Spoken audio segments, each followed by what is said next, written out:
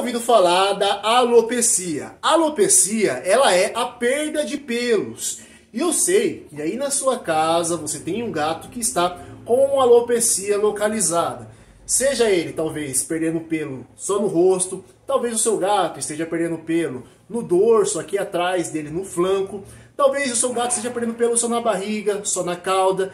Vamos desvendar tudo aqui nesse vídeo, o que, que pode estar acontecendo com o seu gato, o que, que você pode fazer aí na sua casa para ajudar o seu animalzinho. E a única coisa que eu peço para você é para você deixar o seu like aqui nesse vídeo. Isso me incentiva bastante a trazer cada vez mais conteúdo para você aqui nesse canal. Seja bem-vindo, você está no canal da Pet Afeto. Eu me chamo Vitor Rodrigues e vamos conversar então sobre a alopecia localizada em gatos. Se o seu gato está nessa situação, vamos lá, o que, que pode estar acontecendo? Normalmente, o que, que eu atendo em maior quantidade? Problemas de dermatofitoses e piodermite. O que, que significa esses dois termos? Dermatofitose é o acúmulo excessivo de fungos na pele e no pelo do seu animal. E a piodermite é a mesma coisa, só que com bactéria, tá bom? Para resumir, a grosso modo, é tudo que você precisa entender é isso. Mas por que, que isso acontece tanto? Por que, que né, do nada começou a manifestar esse problema, se for fungo, se for bactéria? Acontece que talvez o seu gato esteja com a imunidade baixa, seja por um problema de saúde, um problema alimentar, enfim, talvez ele esteja com uma a imunidade baixa. E então, esse problema começa a se manifestar no pelo e na pele do seu gato. Se essa for a situação, né, o que, que você normalmente vai observar além da queda de pelo. É muito provável que o seu gato tenha ferida também na pele, ou talvez alguns locais ali com um pouquinho de secreção. Você precisa avaliar isso no seu animal e no final do vídeo a gente vai explicar o que, que você deve fazer. A segunda coisa que acontece muito são reações alérgicas, tá bom? Se você observa que o seu gato está se coçando muito, né? É importante que você avalie isso. Você veja se de repente ele não está exposto em um ambiente que tem muitos alérgenos seja no ambiente, seja na alimentação. Ah, troquei a ração do meu gato recentemente, ele começou a se coçar, começou a perder pelo. Opa, talvez seja alergia alimentar. Ah, mudamos de casa, fiz uma limpeza ali na casa porque estava muito pó. O meu gato do nada começou a manifestar esse problema. Talvez seja por, pelo pó, talvez seja pelo produto de limpeza. É importante avaliar o contexto geral, o histórico que levou o seu gato a isso, porque ele não começou a se coçar do nada, certo? Terceira coisa que acontece bastante são os traumas, principalmente por arranhaduras de outros gatos, por mordedura, ou até mesmo em alguns casos por queda também. O que acontece é que às vezes o gato se machuca, aquela região né, tem uma inflamação e pode acabar, acaba, e pode acabar gerando essa queda de pelo. Então, se o seu gato tem vida livre, muito cuidado com isso. Além disso, você precisa ter um cuidado em dobro. Se o seu gato está nessa situação, ele não for vacinado, ou até mesmo se ele for, pode acontecer também, dele pegar, por exemplo, uma FIV, uma FELV, por conta de briga. Aí o problema vai ser muito maior do que um problema de pele, certo?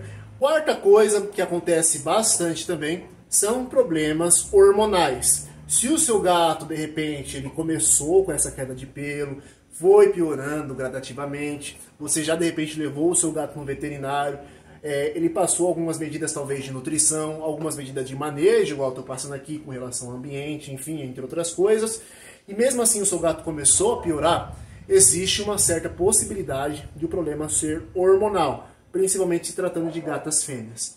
Uma outra coisa, problemas de estresse. Se você tem cachorro em casa e seu gato não se acostumou ainda com ele, tem criança, você trouxe outros animais para sua casa e seu gato ele não está gostando muito daquilo, ele está se isolando, ele tá, você ouve ele dando aqueles gritos de repente, né? Do nada você escuta ele gritando, talvez ele esteja estressado. Ou então se você mudou de casa, é, levou o seu gato para passear, enfim, são várias coisas que pode levar o gato a ficar estressado. Gato é diferente de cachorro, eles têm muita dificuldade em se adaptar, em sair da rotina e uma simples mudança no ambiente que ele está tá inserido pode gerar um estresse, uma ansiedade no seu animal, fazendo com que ele, entre outros sintomas, tenha alopecia localizada, certo? Outra coisa também que pode acontecer, um pouco menos comum, mas também pode acontecer, são doenças imunossupressoras, como a FeLV, por exemplo se o gato não for vacinado, ele tiver o vírus da imunodeficiência felina, que é a AIDS felina, pode acontecer dele ter, entre outros sintomas também, a perda de pelo localizado. Certo? Beleza, vídeo, tudo bem. Você falou sobre as possibilidades, são muitas, né? existem outras ainda, mas o que, que eu devo fazer? Qual é a primeira conduta que eu devo ter com o meu animalzinho aqui na minha casa? Primeira coisa que você precisa ter em mente é com relação ao ambiente. Como que é esse ambiente? Ele, ele tem é, algum agente de estresse para esse animal? Seja cães, seja outros gatos, você viu que seu gato se isola, talvez você mate a charada a partir daí.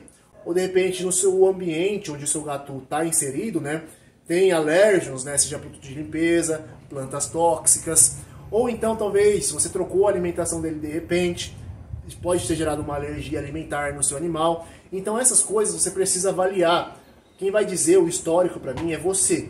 Deixa aqui nos comentários se você mudou alguma coisa de repente na rotina, na alimentação do seu gato, qual é a exposição do seu gato com o ambiente, se existe algum alérgeno ali, se existe alguma coisa que pode ter gerado isso.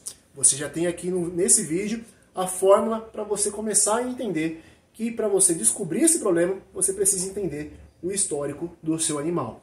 Deixando nos comentários, eu vou ajudar você, eu vou responder, porque eu sempre respondo todos os comentários aqui da Pet Afeto. Se você for membro do canal, você tem prioridade nas respostas. Eu respondo normalmente no mesmo dia.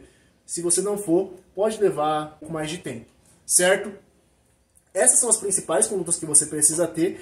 Não recomendo que você opte por nenhuma vitamina no momento. Não recomendo que você opte por nenhuma mudança na alimentação do seu animal por enquanto. O que você precisa fazer é ter esse manejo. Assiste esse vídeo que eu vou deixar aqui no card, onde eu falo quando que você vai usar uma alimentação melhor para o seu gato, quando que você pode de repente suplementar um ômega 3, uma biotina talvez. Assiste aqui nesse vídeo. Porém, em caso de dermatofitose, perca de pelo localizada, que é diferente quando o seu gato ele perde pelo como um todo, pode ser que não seja uma boa opção.